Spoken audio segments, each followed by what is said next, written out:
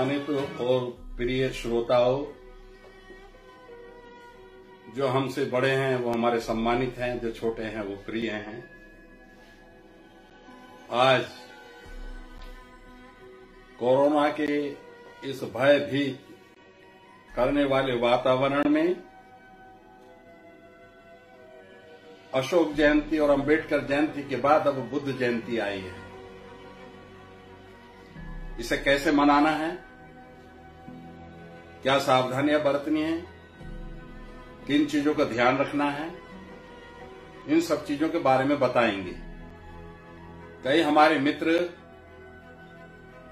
प्रश्न कर सकते हैं, ये धार्मिक विषय पर एक उपासक इन बातों को कैसे कह सकता है? बौद्ध धर्म ऐसी कोई मर्यादा नहीं है, कोई बंदिश नहीं है। आज हम आपके आने से पहले इस देश के बहुत गतिशील भिक्खु, प्रज्ञावान भिक्खु, कभी भी चैन से ना बैठने वाले और हर समय धर्म के प्रचार में लगे रहने वाले भिक्खुओं से हमने चर्चाएँ की। बनते पूज्य पूज्य बनते चंदीमा जहाँ सारनाथ में भिक्खु ट्रेनिंग सेंटर चला रहे हैं उनसे भी हमने चर्चा की और उनसे मार्गदर्शन प्राप्त करके हम आपके सामने आए हैं। उनकी अनुमति प्राप्त करके आपके सामने आए हैं और ये बताने आए हैं कि आज के दिन का महत्व बताएँगे। फिर उसके बाद इस लॉकडाउन के समय में बुद्ध पूर्णिमा का आयोजन किस प्रकार से किया जाना चाहिए, उस पर विशेष प्रकाश डालेंगे। देखिए, बुद्ध पूर्णिमा को अक्सर कहा जाता है त्रिविध पावनी पूर्णिमा। त्रिविध पावनी त्रिविध क्या होता है? त्रिविध का मतलब तिहरी, तीन परत वाली। जैसे, ये रुमाल की एक परत हो गई और ये रुमाल की तीसरी परत हो गई। तो ये त्रिविध रुमाल हो गया। तीन फोल्ड वाला। तो ऐसे ही ये जो बुद्ध पूर्णिमा है, इसके भी तीन चरण हैं। कैसे हैं तीन चरण? तीन प्रकार से पवित्र क्यों है? आज के दिन सिद्धार्थ के रूप में बुद्ध का जन्म हुआ। आज के दिन उनको ज्ञान लाभ हुआ। आज के दिन उनको महापरिनिर्वाण प्राप्त हुआ। ये तीन महत्वपूर्ण घटनाएँ उनके जीवन की, उनके जन्म से लेकर उनके महापरिनिर्वाण तक की जो जीवन यात्रा है, वो इन तीन जयंतियों में समाई हुई है। आइए अब एक एक दिन पर हम महत्व डालते हैं। बड़ा विलक्षण जन्म सिद्धार्थ का। जब उनकी माताजी को गर्भधारण हुआ तो शुद्धोधन की आयु उनचास वर्ष की थी। बहुत दिनों तक उपचार किया, बड़े जतन किए कि कोई राजकुमार पैदा हो। अंततः उनचास वर्ष की उम्र में शुद्धोधन के घर में बालक सिद्धार्थ का जन्म हुआ। जन्म से पहले, जैसे कि परिपाटी थी उस समय, और आज भी उस परिपाटी के कुछ लक्षण समाज में आज भी विद्यमान है कि जब विवाह के पश्चात पुत्री को गर्भधारण होता है तो पहली प्रसूति, पहली डिलीवरी माँ के घर जाकर कराते हैं। क्योंकि उस समय बहुत ज़्यादा सावधानी की ज़रूरत होती है, देखभाल की ज़रूरत होती है। और ऐसा माना जाता है कि माँ से अधिक चिंता, माँ से अधिक सेवा ऐसी घड़ी में कोई दूसरा कर नहीं सकता। माँ सबसे बड़ी नर्स के रूप में बेटी की सेवा करती है, इसलिए उस पुत्री को अपने मायके वाले बुला लेते हैं अपने यहाँ। जब माता महामाया का गर्भ परिपक्व हुआ तो उन्होंने महाराज शुद्धोधन से कहा कि अब मैं अपने घर जाना चाहती हूँ। महाराजा शुद्धोधन ने तुरंत उनका प्रस्ताव स्वीकार किया। उनके लिए पालकी सजाई गई। मात्या मात्य सैनिक तैयार किए गए, अंगरक्षक तैयार किए गए। और उनकी जो बहन थी, प्रजापति गौतमी उनको भी तैयार किया गया कि आप जाइए और ये जो रोहिणी नदी के पार में देवदहा देवदहा, दहा कहते हैं सरोवर को, और देव कहते हैं विद्वान पुरुष, चरित्रवान पुरुष। तो चरित्रवानों की नगरी थी, इसलिए वो देवदाह कहलाती थी।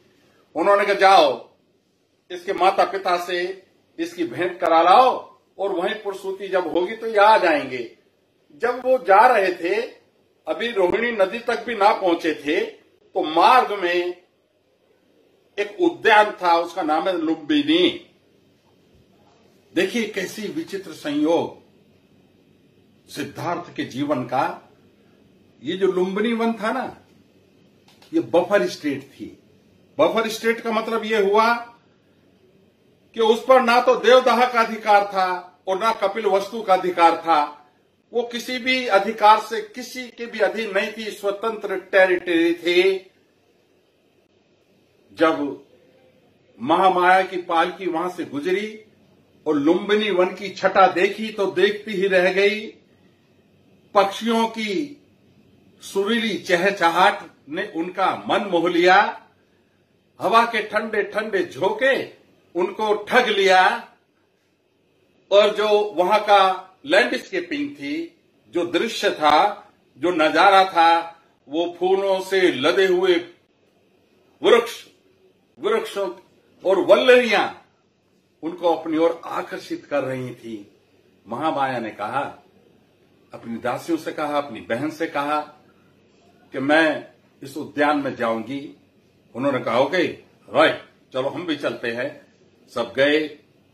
एक वृक्ष के नीचे शाल वृक्ष के नीचे, उन्हें लगा कि अब मेरा गर्भ का उत्थान होने वाला है।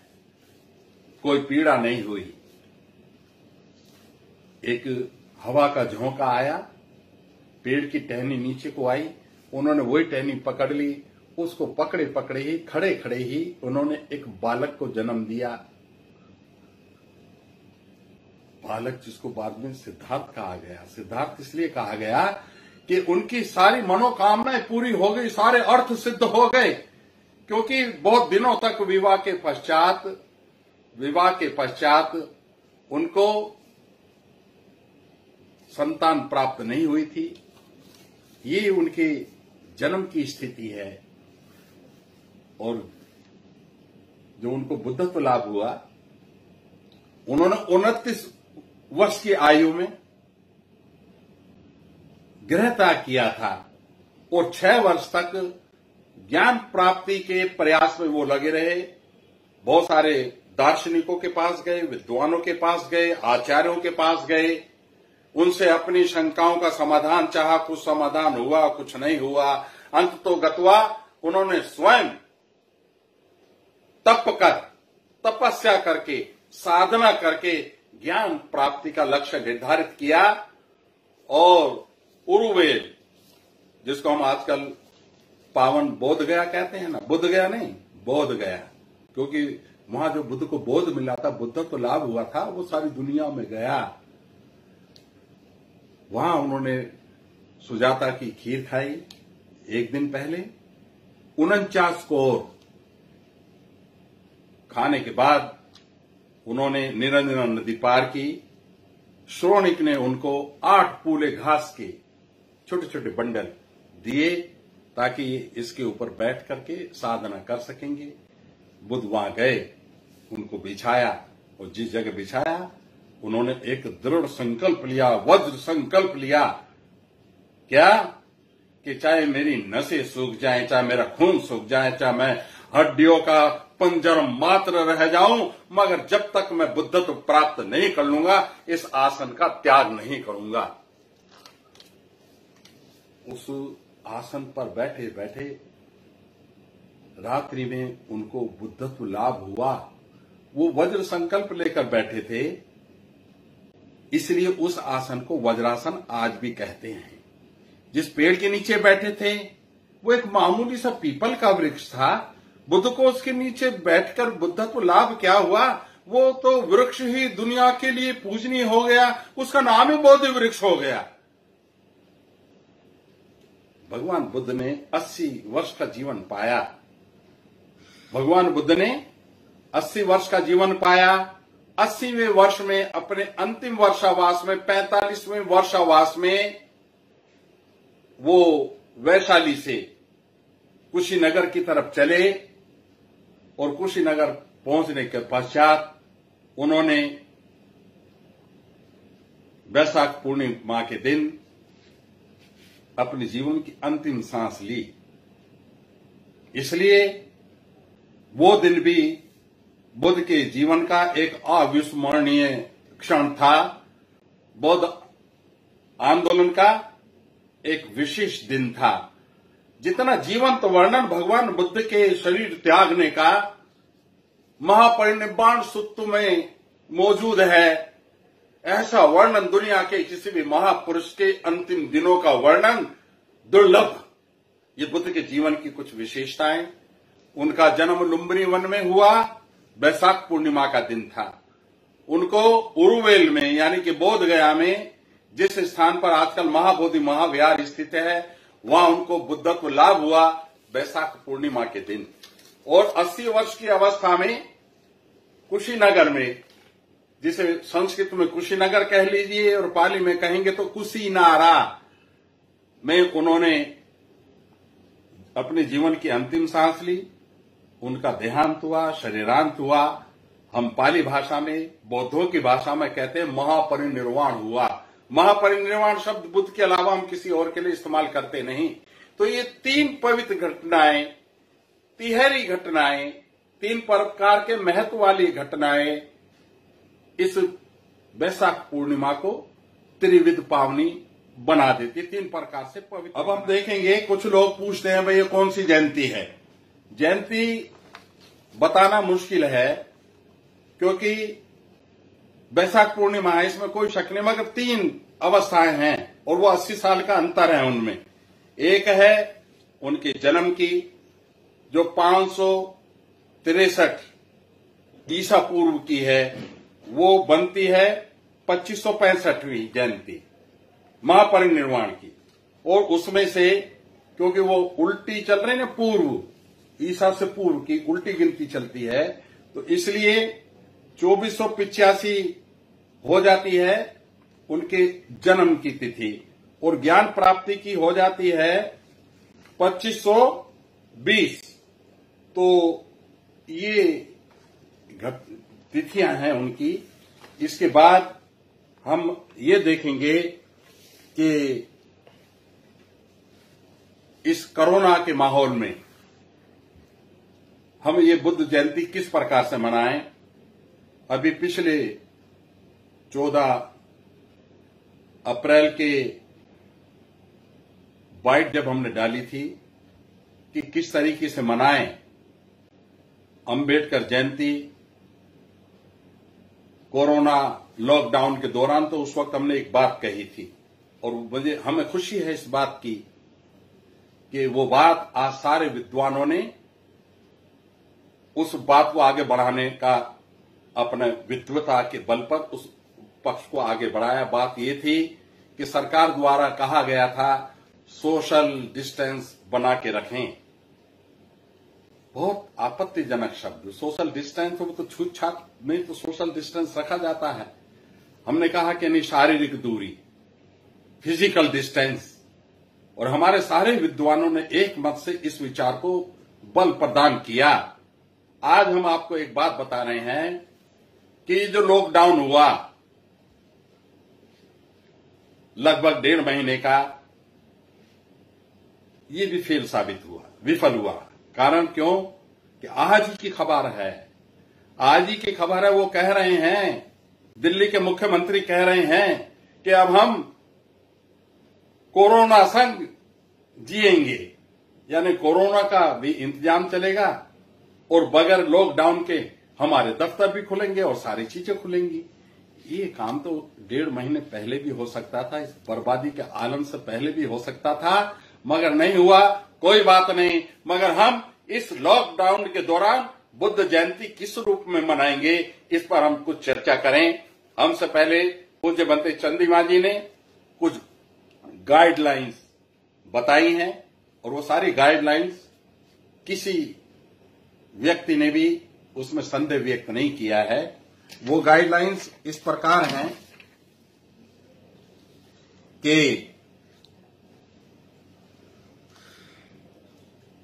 तीन मई को सरकारी घोषणा के हिसाब से लॉकडाउन समाप्त हो गया वो कहने की बात है, मगर अभी लॉकडाउन पूर्णता समाप्त हुआ नहीं है। हाँ उसकी कमर ज़रूर टूटी है। और सात तारीख को भी लॉकडाउन पूरे तरीके से हटेगा नहीं, कुछ न कुछ मौजूदगी रहेगी।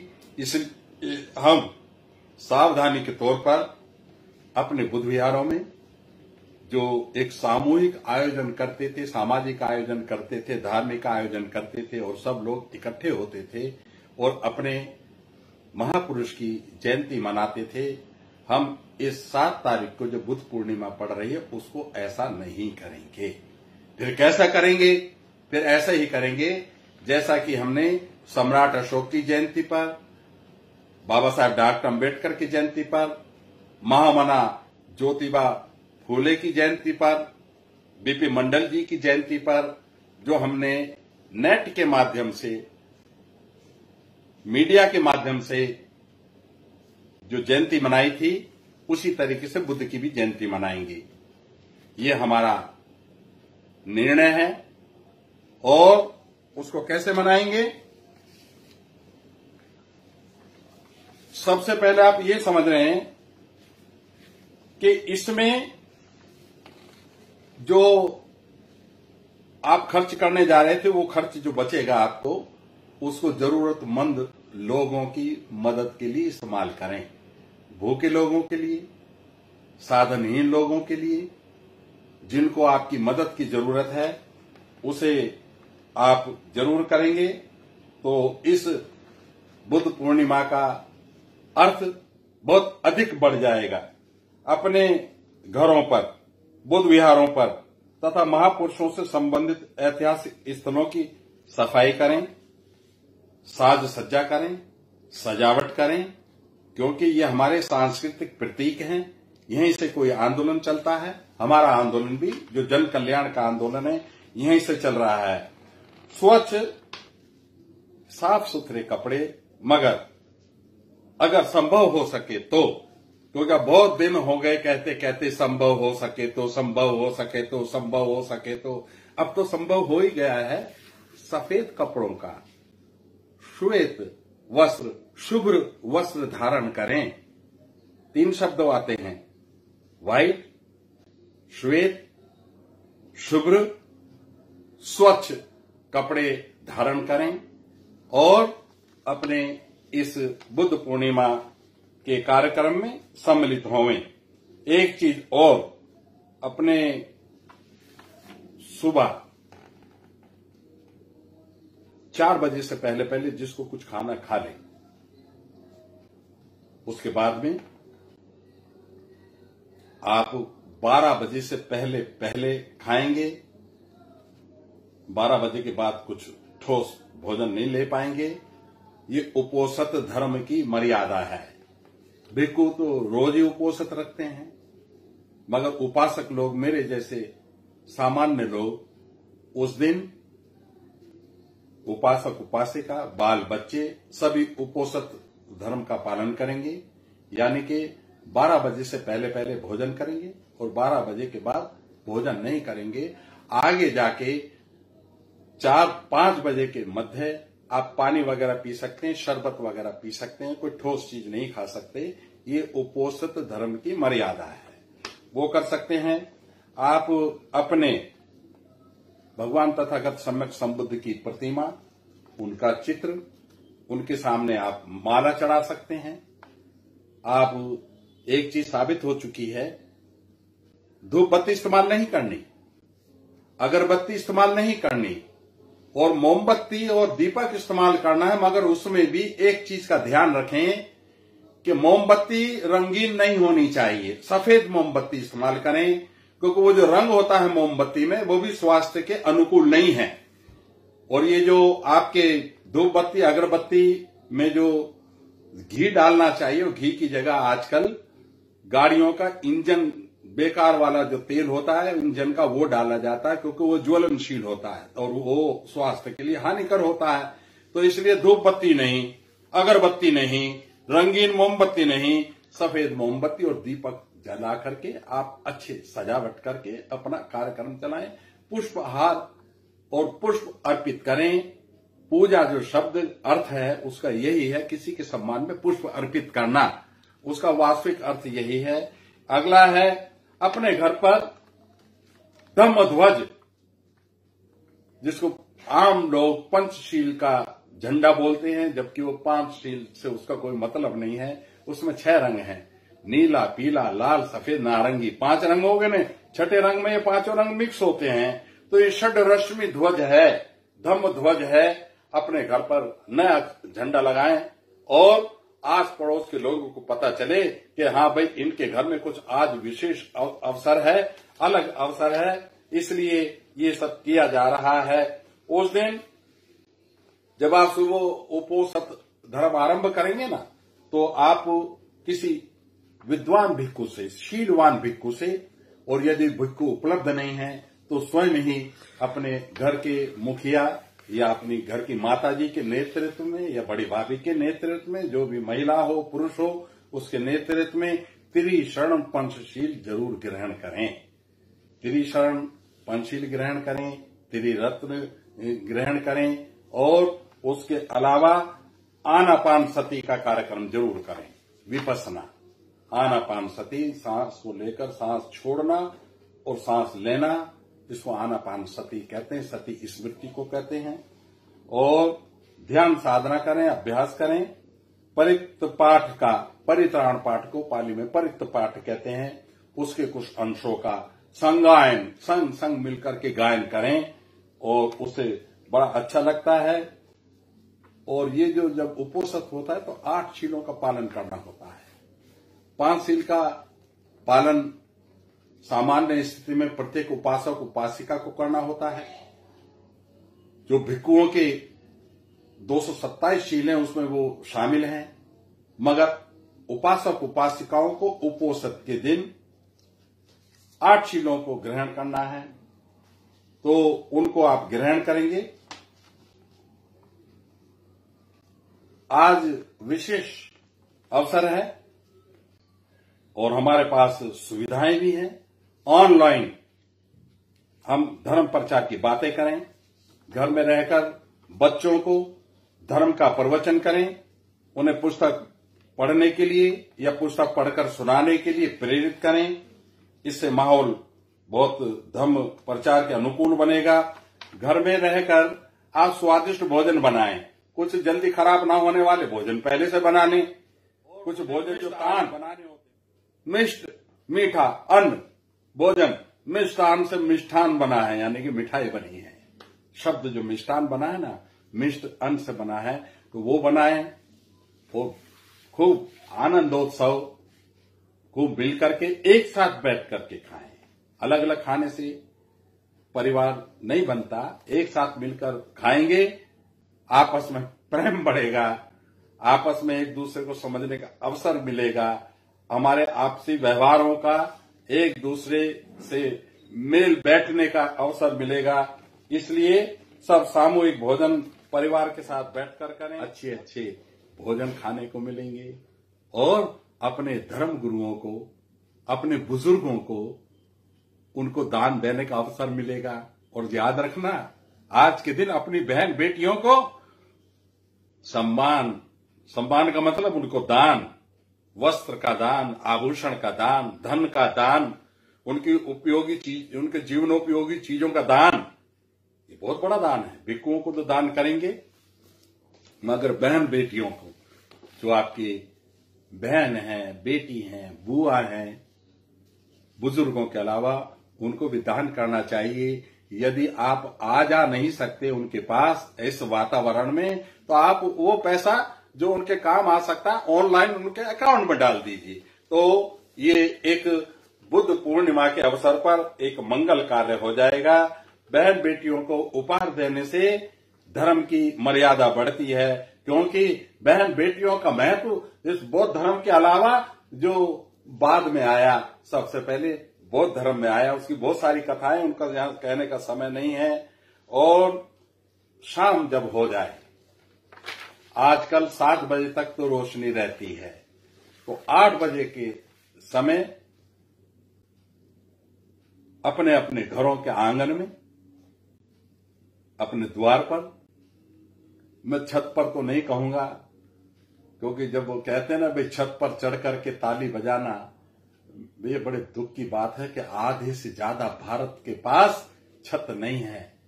उनके पास सर ढकने के अनुकूल बसेरा नहीं है, उनके पास गैलरी नहीं है, उनके पास एक ही छोटे से कमरे में दस दस लोग सोते हैं। तो अपने जिनके पास छत है, वो छत पे चढ़ें जिनके पास गैलरी है, वो गैलरी में आके करें। जिनके पास कुछ नहीं है तो वो अपने घर के आँगन में दीपक, मोमबत्तियाँ सजा करके जलाएँ और रात में आठ बजे ये काम करना है। आठ बजे। सब तरफ़ से जो आवाज़ आ रही है, वो आठ बजे की आ रही है। आठ जो है आष्टांगिक मार्ग का प्रतीक है और आठ बजे अंधेरा भी हो जाएगा। दीपक तो अंधेरे में जलता है ना। दिन में दीपक जलाएँगे तो हँसी के पात्र बनेंगे। इसलिए रात को आठ बजे सब एक ही समय पर, जैसे चौदह अप्रैल को आपने देखा ना, पूरा हरियाणा, पूरा उत्तर प्रदेश, चाहे मेरठ हो, चाहे आपका गाजियाबाद हो, चाहे हापुड़ हो, चाहे मुजफ्फरनगर हो, चाहे सहारनपुर हो, चाहे आपका बनारस हो, चाहे आपका सब जगह रात में सब बस्तियाँ जगमगा गई। ऐसी जगमगाहट आज सात तारीख की रात को आठ बजे भी होनी चाहिए। आप अपने सामर्थ्य के अनुसार भिक्कुओं को ज़रूर दान दें। ये दान पारमिता का सबसे बड़ा व्यक्ति कोई संसार में पैदा हुआ नहीं और बड़े व्यक्ति को ही तथागत कहते हैं। महान व्यक्ति को ही बुद्ध कहते हैं। महान व्यक्ति को ही भगवा कहते हैं भगवान कहते हैं। इनलाइटेंड वन कहते हैं ब्लेस्ड वन कहते हैं। तो इसलिए आप सबसे निवेदन है कि आपको एक गौरव प्राप्त है कि आप एक ऐसे महापुरुष के अनुयायी हैं जिसकी विचारधारा ने खून की एक बूंद बहाए बगैर सारी दुनिया को अपने रंगों में रंग दिया। ये बुद्ध की सबसे बड़ी विशेषता है। आज हम बुद्ध को नमन करते हुए, उनकी विशेषताओं को नमन करते हुए, अपने घरों के वातावरण को बुद्धमय बनाते हुए, बगैर इस कोरोना कर्फ्यू का उल्लंघन किए बगैर अपने घरों में रह के, अगर उस दिन कर्फ्यू खुल भी जाता है तो भी हम उस दिन अपने घर में रह के सो, शारीरिक डिस्टेंस, शारीरिक दूरी बनाकर, मास्क लगाकर, भिड़ के ना बैठें, थोड़े दूर दूर बैठें, और जो पकवान बनाए, ऐसे मत बना लेना कि बहुत भारी हो और आप बीमार हो जाए। ना, बीमार होने वाला भोजन नहीं खाना है, सुपाच्य भोजन खाना है, और खीर ज़रूर बनानी है। चाहे थोड़ी खाएँ खीर खाएँ। खीर हमारे बुद्धों की पहचान है। बुद्ध को बुद्धत्व लाभ मिला था, खीर खा के मिला था, इसलिए उसका विशेष स्थान है। इन्हीं शब्दों के साथ मेरे मार्गदाता भिक्कुओं को मैं नमन करता हूँ। मैं अपने जितने भी शुभ चिंतक हैं, जो बार बार टेलीफोन कर करके हमें इस प्रकार के वीडियो बनाने के लिए प्रेरित करते हैं, मजबूर करते हैं, मैं उन सब के प्रति भी नतमस्तक हूँ। उनको भी अपने हृदय के निम्नतम तल से नमो बुद्धाय कहता हूँ, इन्हीं शब्दों के साथ आप सबको बुद्धंग नमामि धम्मंग नमामि संघंग नमामि। बहुजन समाज से जुड़ी हर खबर जानने के लिए सब्सक्राइब करें द शूद्र और बेल आइकन दबाना ना भूलें।